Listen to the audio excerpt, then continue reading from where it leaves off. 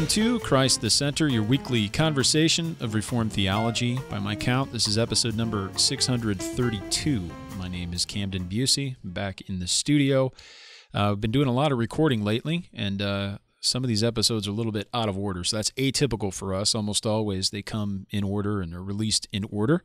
Uh, but we got back from a trip out to California and we're going to have a whole host of uh, episodes coming out uh, shortly. Uh, I'll let my past self, which to you is your future self, uh, explain explain it uh, next week. Fun episode next week with uh, David Van Drunen on a forthcoming book. So stay tuned for that. But it is I'm recording Thursday, February sixth, 2020. And this episode, um, if all goes well technologically, and uh, with the internet should be released February 7th. Uh, it is for me tomorrow, 2020.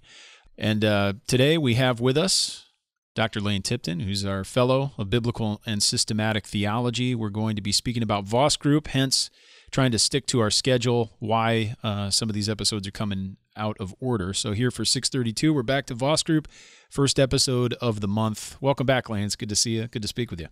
Great to be here as always, Camden.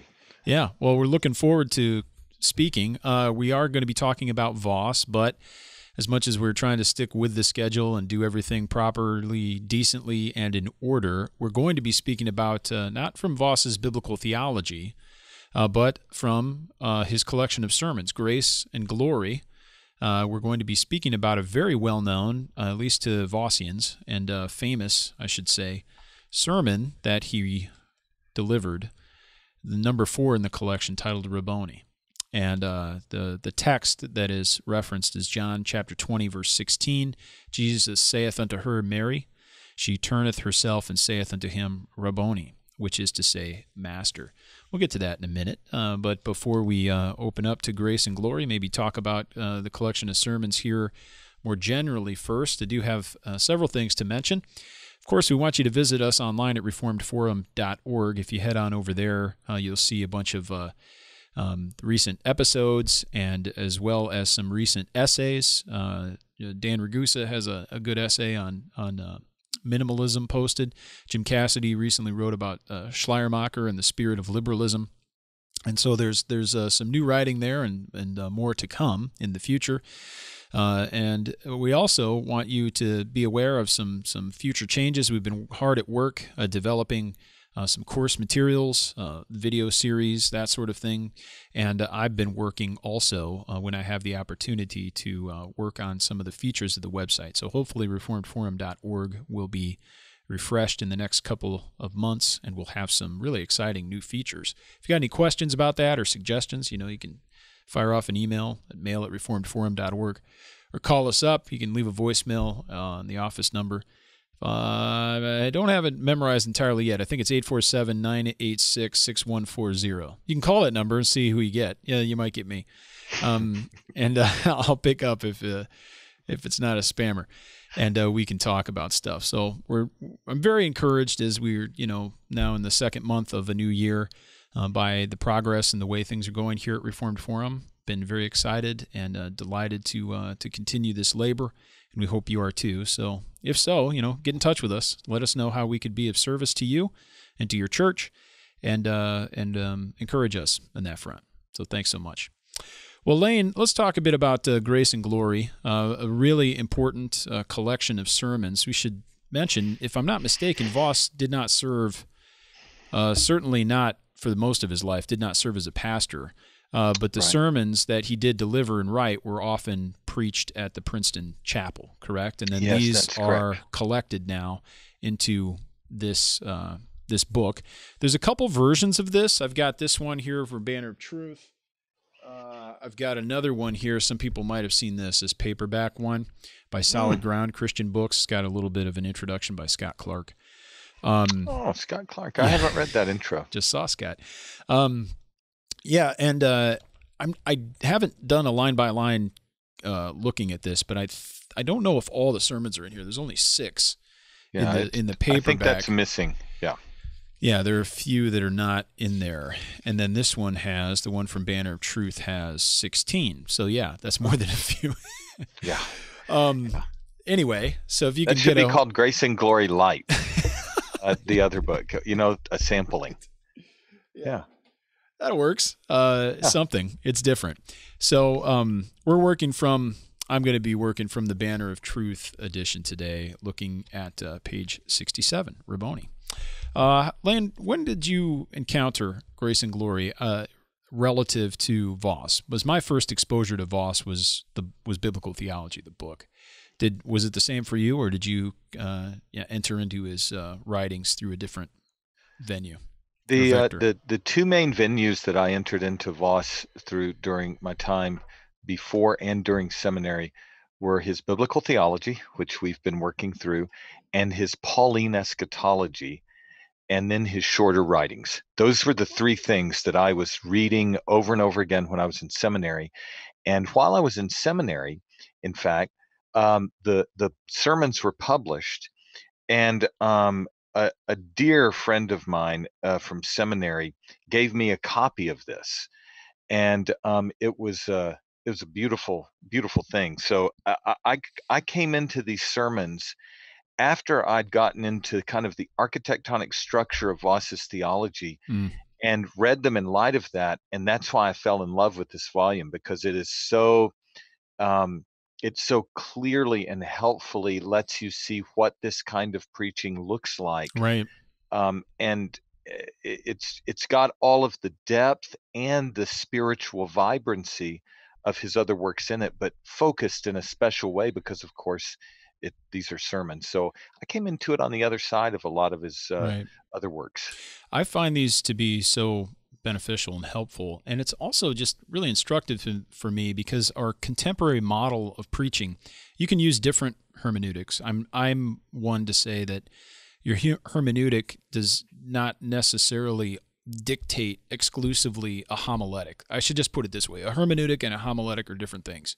Now, a hermeneutic may inform the homiletic in certain homiletic approaches or ways of communicating uh, the results of your interpretation certainly could accord better. So not every homiletic Right. suits a redemptive historical hermeneutic, but I'm of the Right. personal opinion. You may disagree, other people may disagree, but I don't. When we're speaking of redemptive historical sermons, I think there are several ways you can do that. There are different homiletical approaches that could perhaps suit a redemptive historical treatment of a text in various ways. That's maybe a, a question for another day. yeah But- that'd be fun to talk about Yeah, I mean it's a it's a it's an important question to to ask. Yeah, Nevertheless, uh, it's interesting to read Vos's sermons and also the collection of John Murray's sermons recently published by Westminster Seminary Press because they do not read like what you would find in you know just an average PCA or OPC church where there's a a, a, a strong and my my own sermons are this way too a strong uh, prevalence of you know uh, a structure number a listing of points uh, you know Mm. naming those points up front when you get to the point you know concluding the previous point and then introducing the next it's much more rigid it doesn't have to be and when a sermon's done well it flows but you don't these read more as narrative prose just as just one big point it just flows rather than having these artificial or not even not artificial just these sections where it doesn't feel like this is manufactured so much as it was crafted. And, Yes. and there's more of a, like an organic motif. And so to read murray and to read vos uh, on in the sermons to me it's helpful to transport my own mind outside of my present contemporary context and to realize that a lot of what the way in which we preach today i think is just influenced by the way in which we preach today the, yes the context is so different. So I wonder, you know, somebody somewhere could write it. This would actually be a good use of the D-Min. Somebody could actually write a D-Min dissertation on, you know, the the shift in reform in confessional circles from this style of preaching. Yeah, I'll tell you what I think style. Vos and Murray do intuitively, Camden, that many don't do today. Um, Vos is this way. I think Murray's this way. I think um, that th- they have a sense for the drama of the text for the issues in the history of special revelation that the text press upon us. And when Vos, especially here, is preaching, he's he understands the central concern of the text and then his concern is to craft it in such a way that you enter into that narrative in this case mary magdalene you enter into the darkness of the tomb you enter into a context where you're confronted by the resurrected christ and then the resurrected christ speaks a word of deepest and profoundest encouragement to her. By extension he is speaking to us and I think Vos and the fact that he doesn't give you an artificial three point, four point, five point, eight point, uh, two point structure is, uh, eh, I think it's that he's not wanting you to hear his structure. He's wanting you to enter into the very flow and concern of the text itself. And I think those yeah. who are developing their preaching as they listen to this should find this as exemplary and a wonderful model right. to follow. Um, but of course, with your point in place that um, you can't tie a homiletic particular, a, a narrow conception of a sermon uh, to be right. the only way that the point could be made. But well, this Vos, style of crafting is more difficult, and I you get the sense, and I, I granted we're reading the best of the best. I mean, we're not reading 500 sermons all written within the span of five or six days. Right. You know, it, right. The, he's he's afforded certain opportunities that a pastor preaching twice a week every week doesn't have. Yes. Nevertheless, you're left when you read these sermons, you know, feeling and having lived the text in a way. Yes. Rather than feeling as if the pastor, the preacher has found out what was in it and reported it to you. Yes, yes, that's precisely it. It's it's a text that invites participation in the one revealed in it. So that so that the goal here is not simply to understand the three points of doctrinal concern, although there will be such points, but to be led to fellowship with the crucified, ascended, and reigning Christ, and to be comforted by his personal presence as he makes himself known by his spirit and in his word. And so, whatever kind of preaching that facilitates that, we should emulate. And Vos, I do think, is exemplary there. Yeah, I think so. Really do. Well, let's take a look at the text. I'm going to open the sure. Bible here. Got a hard copy of the Bible, going old school today in a good way. Very nice. Um, and we're going to be reading the text. Uh, on the resurrection of our Lord. Uh, John chapter 20, I'm going to begin at verse 1, read through verse 18. Uh, the emphasis of uh, Vos's sermon is verse 16, but uh, for the sake of context, we'll read. So here's God's word. Now, on the first day of the week, Mary Magdalene came to the tomb early, while it was still dark, and saw that the stone had been taken away from the tomb. So she ran and went to Simon Peter and the other disciple, the one whom Jesus loved, and said to them, They have taken the Lord out of the tomb, and we do not know where they have laid him. So Peter went out with the other disciple, and they were going toward the tomb. Both of them were running together, but the other disciple ran, outran Peter and reached the tomb first. And stooping back, uh, stooping to look in, he saw the linen cloths lying there, but he did not go in. Then Simon Peter came, following him, and went into the tomb he saw the linen cloths lying there, and the face cloth which had been on Jesus' head, not lying with the linen cloths, but folded up in a place by itself. Then the other disciple who had reached the tomb first also went in, and he saw and believed. For as yet they did not understand the scripture, that, the, that he must rise from the dead. Then the disciples went back to their homes. But Mary stood weeping outside the tomb. And as she wept, she stooped to look into the tomb. And she saw two angels in white, sitting where the body of Jesus had lain, one at the head and one at the feet. And they said to her, Woman, why are you weeping? And she said to them, They have taken away my Lord, and I do not know where they have laid him. Having said this, she turned around and saw Jesus standing, but she did not know what it, that it was Jesus. Jesus said to her, Woman, why are you weeping? Whom are you seeking?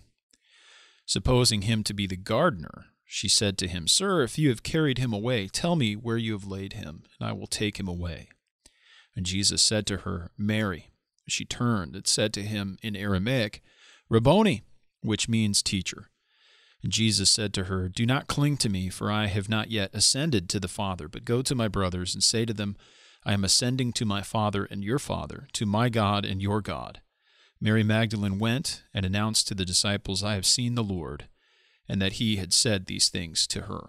That's the end of uh, verse 18. So, uh, Vos is picking up on verse 16, kind of a, an apex there and a transition mm. uh, of Mary Magdalene from sorrow to joy.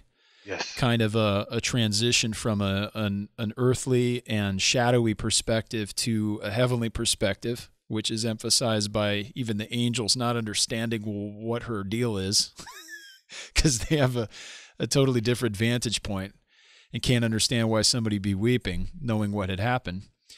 Um, it's just a, a brilliant, um, well, it's the Lord's word, but then the sermon, I think, brilliantly emphasizes the, the greatness and the glory and the comfort of this passage that we might not um, that that we might pass over when we just read it. Uh, yes, quickly. Yes, and and that Camden, that point that you're bringing out, especially the target in verse 16, uh, it gets to Vos's entire philosophy of preaching, and we can use this as a wonderful sermon for that regard if if I if I were to try to put this in context and distill the essence of what Voss is after, uh, what he's after is showing us that Mary Magdalene had a need for the personal presence of Jesus, and nothing else in the world could satisfy her. The only thing that could satisfy her is the personal presence of Jesus. And the beginning of this narrative is um, very important. She comes to the tomb early while it's dark, and she saw that the stone had been taken away from the tomb. Now, if you think yourself back into that context for Mary, um, for Mary Magdalena, she approaches that tomb. The darkness that surrounds her is um, an emblem of the hopelessness that she feels in her heart because she thinks Jesus has died and remains dead. And the difficult feature, the agonizing feature of the narrative is this that she remembers Jesus said, I am the way, the truth, and the life.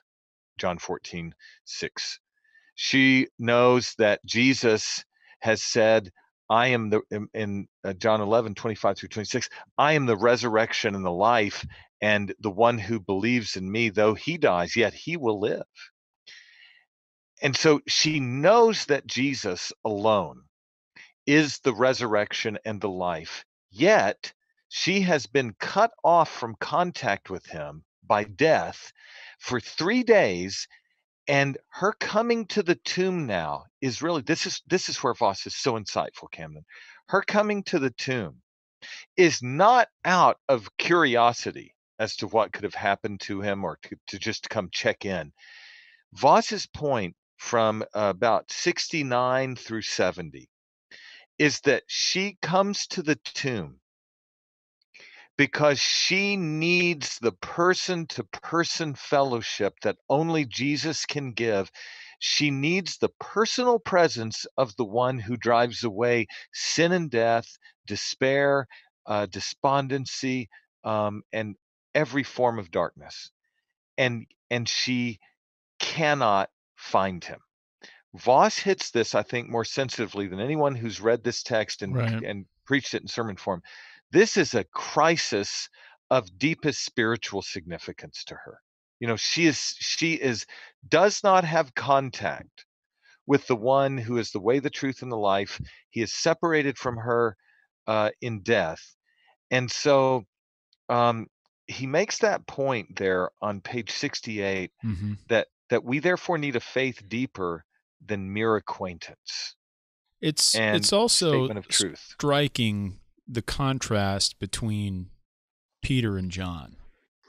John being the disciple Jesus loved, and the fast one, he makes a point of how much faster he is than Peter without really, really saying That's it. great. That's great. but and and they believed.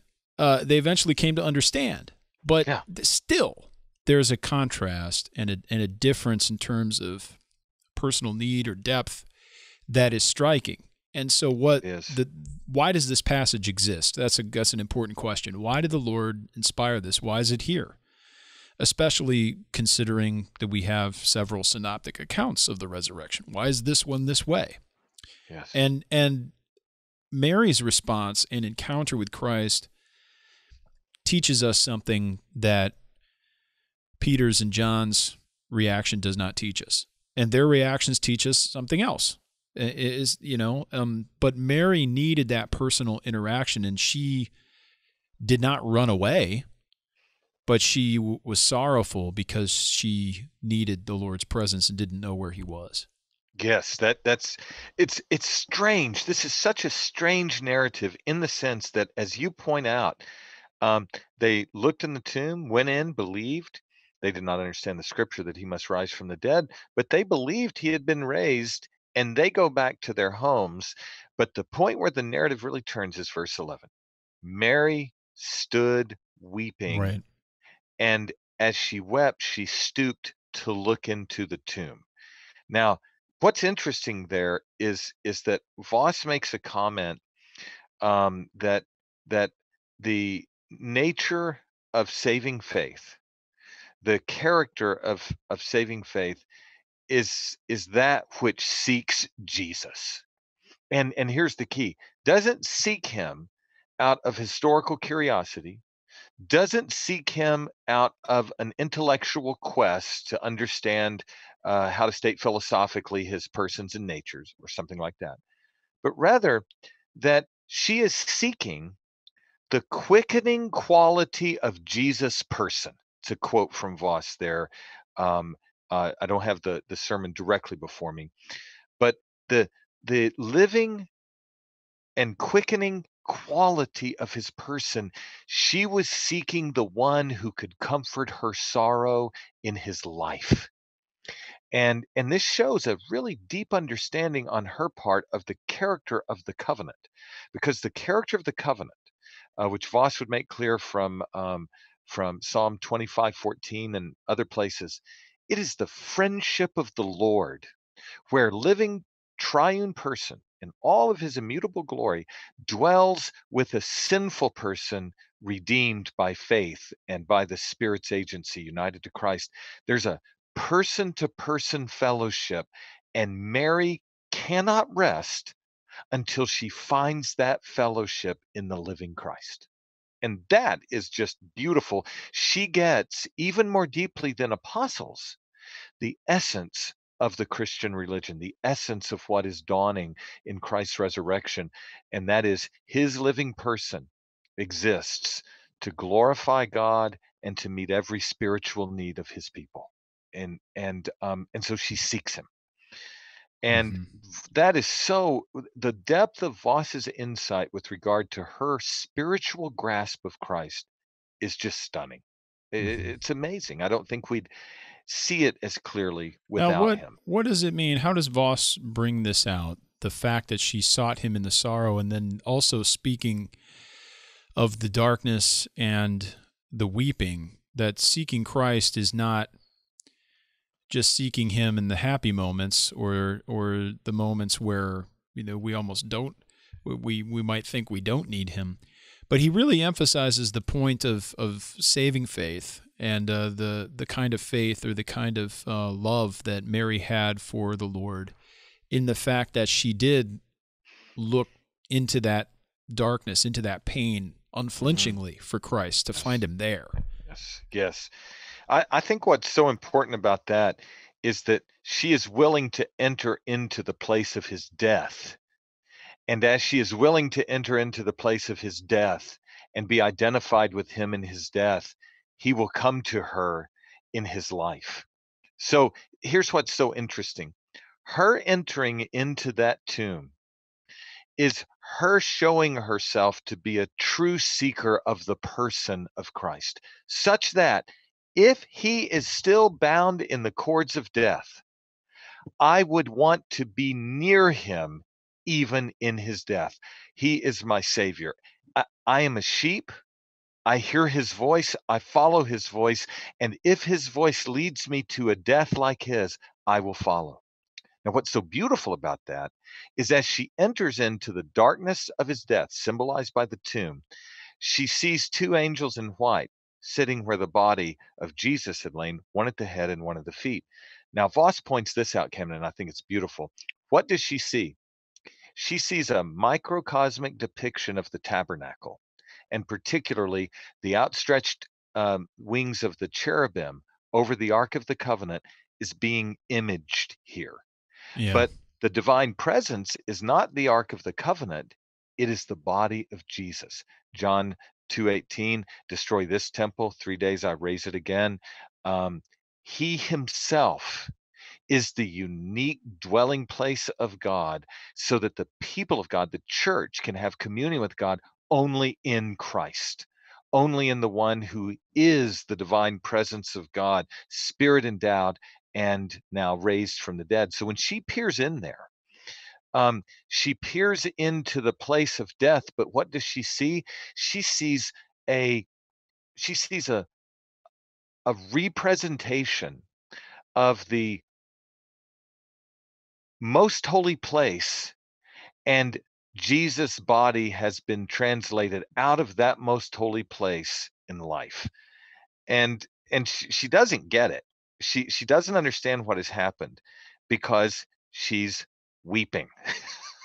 if right. she understood if she saw the place where Jesus' body had laid realized he is the new and climactic expression of the most holy place, and that he is not in that cave, he is not in that tomb, he is not dead, but has been raised in the power of an indestructible life, and is now going to ascend and bring his people to that life forever, she would have been ecstatic.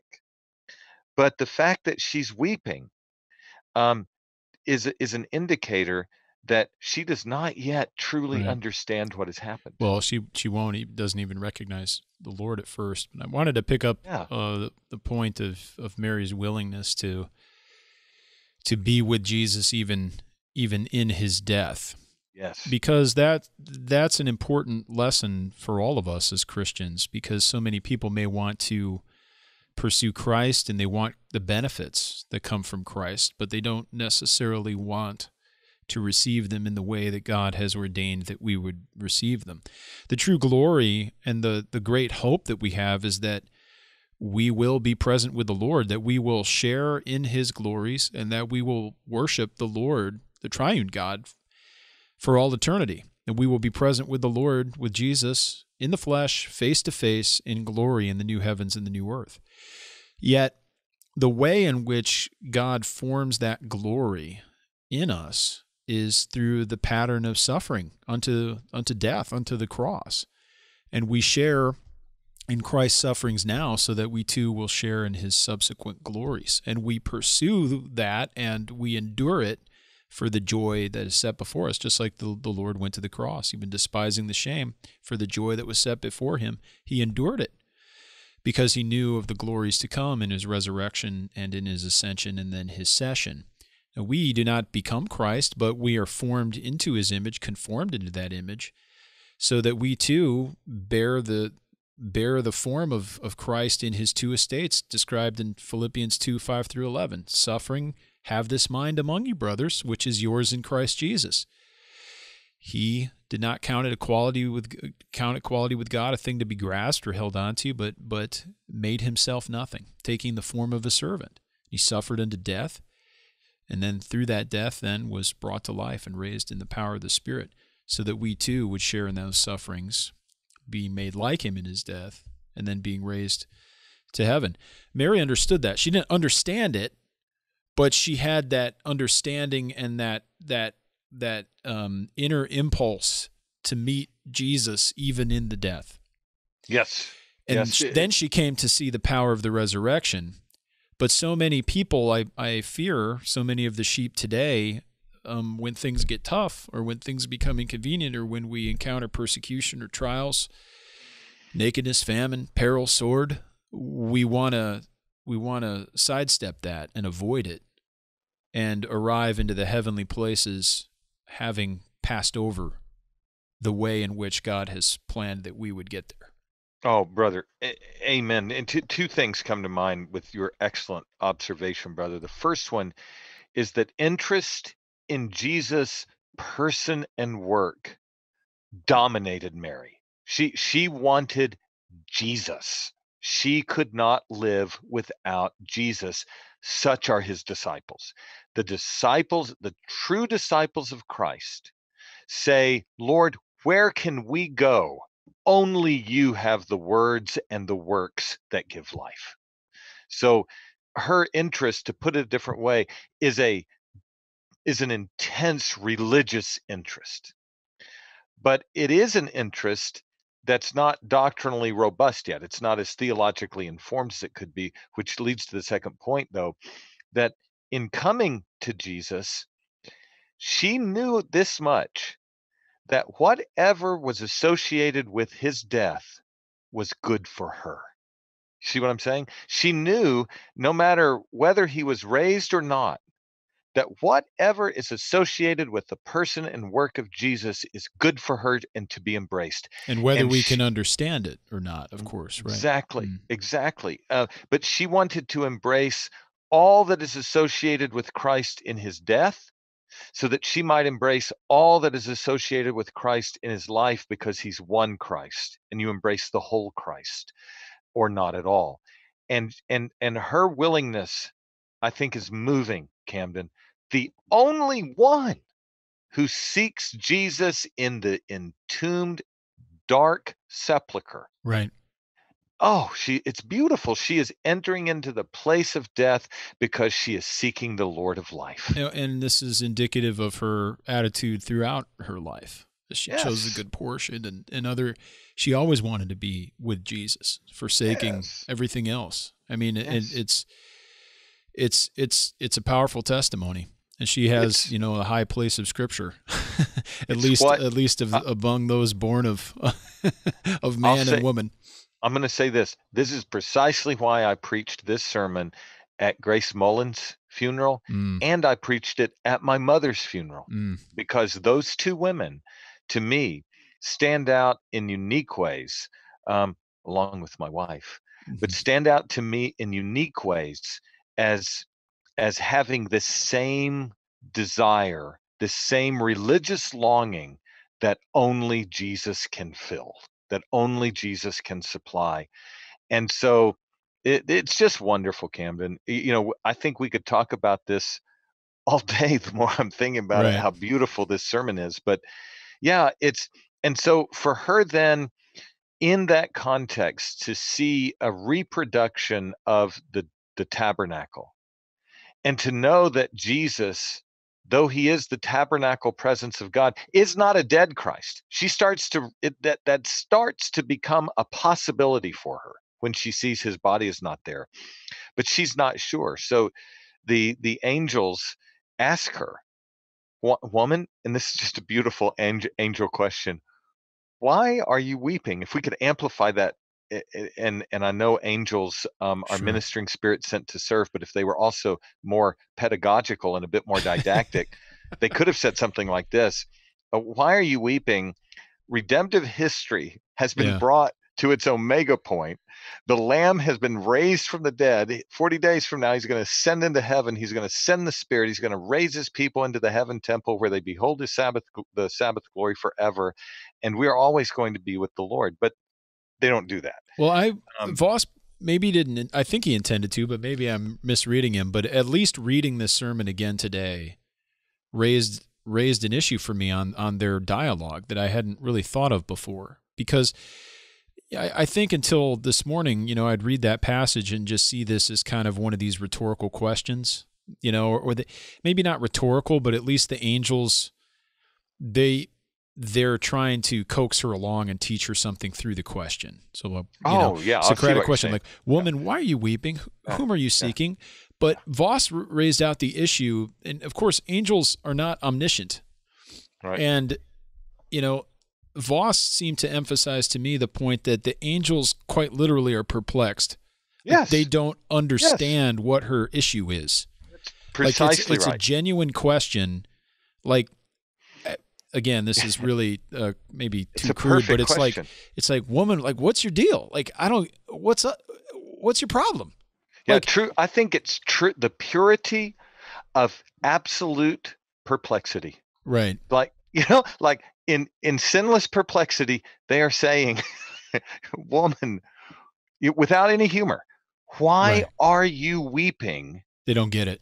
Right. Exactly. Yeah, it, it's and it's. I think that's a beautiful insight. It's not a a merely rhetorical question, Camden. I agree with you, and I agree with Vos a hundred percent, um, because coming up on them as they're asking this, having said what she said to them. So in the instant of this narrative, it's almost think of it this way. It's almost that the that that Mary's looking at the angels, talking to her as Jesus approaches from behind, the angels with him in view, likely say, "Why are you weeping?"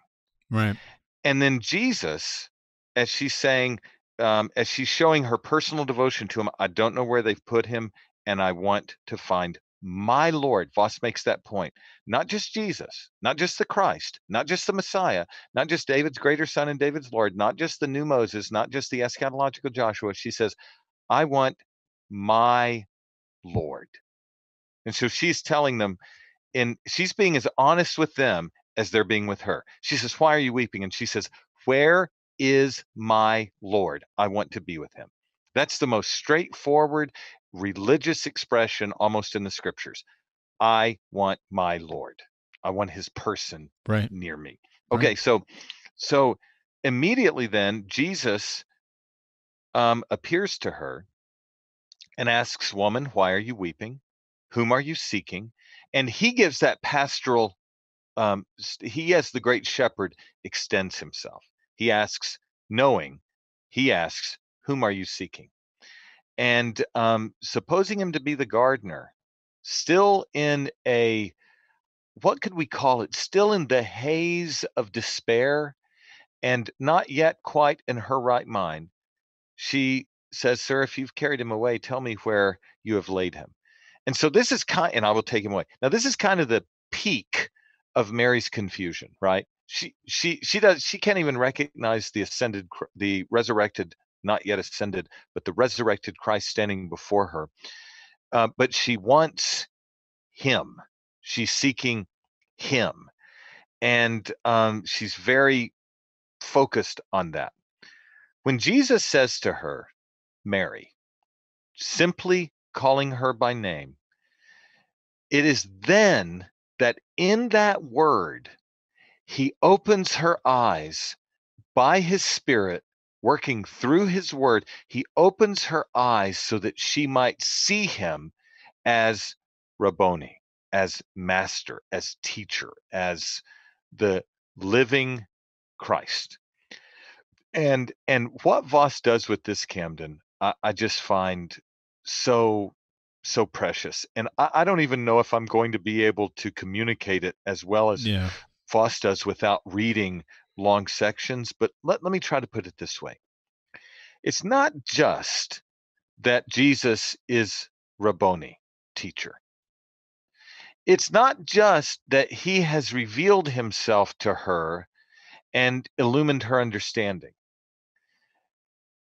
When she says Rabboni, what she is saying to him is something like this I greet you, my resurrected teacher, my resurrected Savior, my resurrected Lord. But I greet you not only in that way, but as the one who alone has turned this darkness into light and this weeping into joy. So, what when she says Rabboni, it is infused in a, it's a single word summary of the worship that she offers yeah. the ascended Christ in a, a spontaneous and effusive burst. Right. That's the, that's the, best way I know how to get at it. Vos is so much more poetic than that, but that's where he's going. But don't it. we see also, you know, in this single word, uh, her name, when he says her name, the transformation occurs in that powerful moment. It does. I would give almost anything. I mean, I I, I hope I can ask my Lord face to face one day, or ask Mary, the the tone of his voice when he said that. Mm-hmm. You know, and it's one of those things you could you could you could read that. You know, what do you say Mary? Probably not. Yeah. He, would Yeah. he say it in a tender way that he used to address her? Whatever the reason, the tone of voice is what transformed her. But there's it's no no it's of no small consequence that it's her name that the Lord speaks her name to And- and- because there's there's a lordship and dominion aspect to that as well as just a, a great you know personal tenderness and relationship in speaking somebody's name to them someone that you're you're intimate with you know? Yes. Yes. That- And- it, it, it's tremendous. And then that's the moment of transformation. It's not sight uh, although that also is significant in the bible but the naming the lord's naming. And you think also of peter right? When he when he says to the lord you know remember me you know when you go into your glory. And we the lord you know has is not yet ascended but now he has been raised from the dead has he forgotten his people no but he's still the shepherd the shepherd of the sheep and the sheep know his voice and he knows them by name Yes. Now that right there, Camden, that is the deepest covenant theology in the Gospel of John. Um, and and what I mean by that is is this: that when Vos in the Hebrews, the epistle to the Diatheke on eh, on page 186, when he's talking about the essence of the covenant, he says this. He says to be a Christian is to live one's life not merely in obedience to God, nor merely in dependence on God, nor even merely for the sake of God. Listen, it is to stand in conscious reciprocal fellowship with God, to be identified with Him in thought and purpose and work, to receive from Him and give back to Him in the ceaseless interplay of spiritual forces. And so when Jesus calls Mary by name, let me let me try to say it this way. It is the beginning of the consummation of the covenant relation for her. She is being called personally and tenderly and sovereignly into religious devotion to Jesus, where he receives her worship, she gives her worship, and there is mutual and reciprocal uh, uh, bliss in that relationship. And and speaking to her by name shows you the depth of the person to person fellowship bond that lies at the core of the covenant. And what does that covenantal fellowship bond between god and man reflect? That intimate eternal and incommunicable person to person dwelling in one another among the persons of the Trinity. The perichoretic glory of the persons who are fully God is is what underlies that. And so in in this, Jesus is giving her the deepest religious reality of the covenant because he gives himself to her and she knows him as he knows her by name. It's just yeah it's just beautiful. It's the heart of of our our religion, really. Mhm. Um, yeah. Well, these are passages that are so rich, and um, you know, people read this, and you may hear an Easter sermon, and then you may hear a sermon that you know really starts to go through all the factualness, the historicity of Christ's resurrection from the dead, missing sight of really what's what's most important here. Of course, Yes. Jesus rose from the dead. If he didn't physically rise from the dead, if that didn't really happen, then we're of all people most to be pitied Yes. uh, and we have no hope. Amen. But if that's all we preach is the the historical fact, the the uh, denotation of the resurrection, without the connotation, and more than that, without without the love and the covenantal aspect of it, and the Yes. eschatology of it, then we've also missed missed the passage, and that's why I'm so thankful for Vos and the way he treats this passage. oh, it's it's so good. Now, Camden, if I could just wrap up, I I preached a sermon that's designed to complement Vos. Vos focuses on the wonder of Mary when she says Rabboni. I did a sermon. Vos uh, develops this, and then I tried to develop it more. So l- let me just give you the the uh, just uh, our listeners just a very quick treatment of the "Do not cling to me." Language. Oh, there please. the Yes. very end. That's very Um, theological and important. Yeah, it's so theologically important. Jesus stops her from her embrace.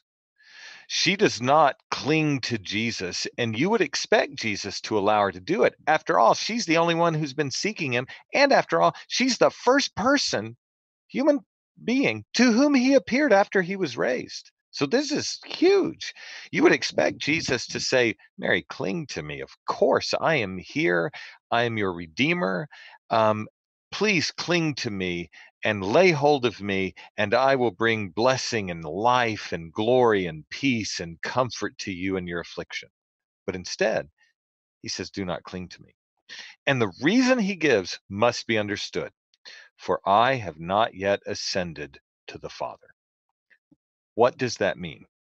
Well, Jesus, remember, in John 16, 13 through 15, says that when he ascends, he will receive and send the Spirit.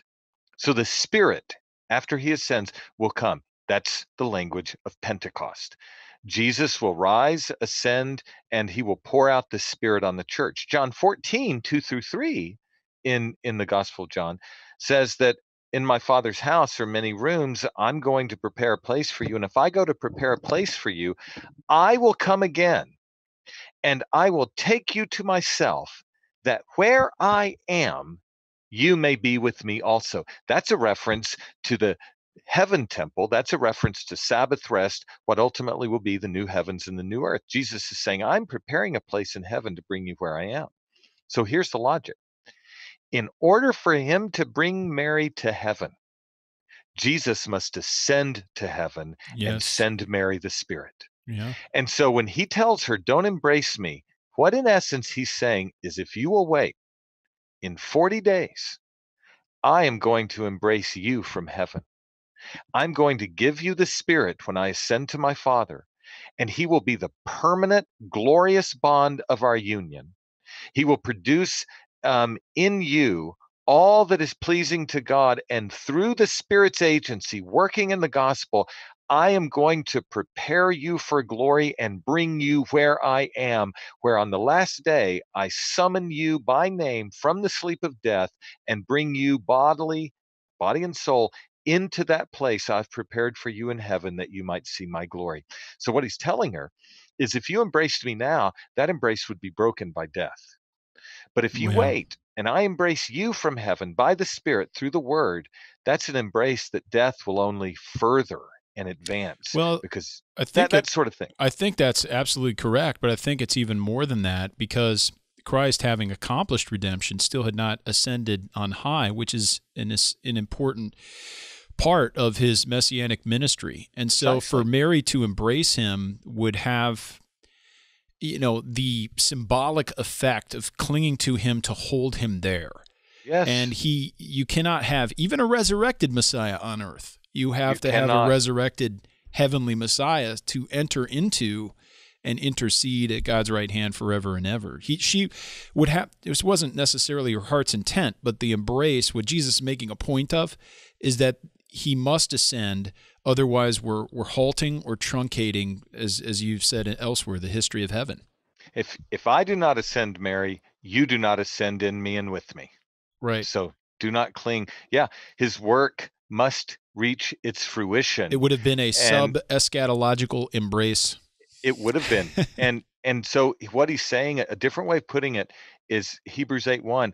The main point of my ministry, Mary, is that I must ascend and be a high priest in heaven so that I might bring you where I am to see my glory. Amen. And that is just it's just so robust. So I hope our listeners find this useful. We'll get right back to Vos. And by the way, that that material on Vos that we'll be looking at, I think it's of em- enormous uh, Right. theological importance. So the, I, I uh, can't wait to see it. extra month's wait, I think, will be will be well spent. You can read ahead and, and study up on it. We'll talk about that prophecy, doctrine of God, how it relates. Oh, oh There's yeah. a lot to speak of there. Mhm. Uh, but yeah, thanks so much, Lane. I think this was this was timely and important. I was uh, spiritually blessed myself reading this in the passage and then speaking with you about it, and I hope our listeners Beautiful. were too.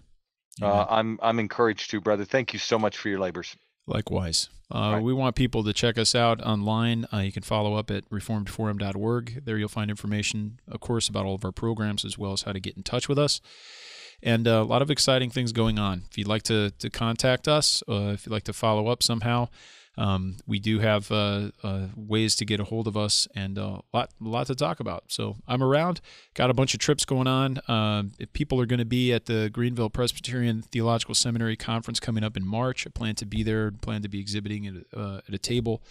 Just got back from uh, the conference, the faculty conference at Westminster Seminary, California. I'm planning also to be at the the um, Together for the Gospel. That we will not be having a table. I'll be around if you'd like to connect there.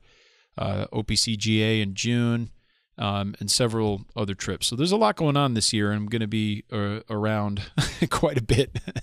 so uh, that, in conjunction with different video courses that we're working on and some publications, it's a busy year. So pray for us and encourage us, and uh, check us out online if you can especially at reformedforum.org slash donate. We're really encouraging people to uh, continue not only to support us with one-time gifts if you're able and willing, but also to consider perhaps uh, some monthly contributions because those are really the lifeblood of our organization financially speaking. We know that the Lord provides and uh, we want to continue supporting the church and uh, God's people by producing, distributing theological resources along these redemptive historical lines, and uh, and uh, this podcast, as well as all of those resources, are able to exist and to be distributed because of uh, the generous gifts of our supporters.